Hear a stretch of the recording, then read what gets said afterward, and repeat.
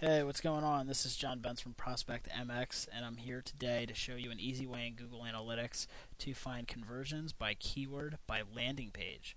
Uh, to be able to do this, you want to go into your traffic sources and then filter down by keywords. Once you have filtered down by keywords, you then want to select the keyword you want to analyze.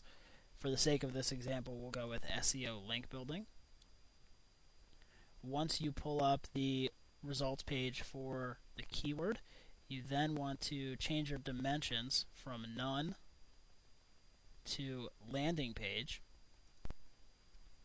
to pull the list up of landing pages on your website that have driven traffic for the keyword that you want to analyze. And then change your tab from site usage to goal conversion.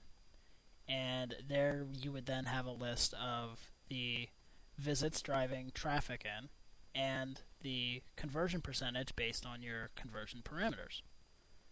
Hope this was helpful. If you have any questions about Google Analytics, feel free to give us a call, 866 312 3188, or just fill out that handy uh, request for consultation on the right hand side of our blog. Thanks.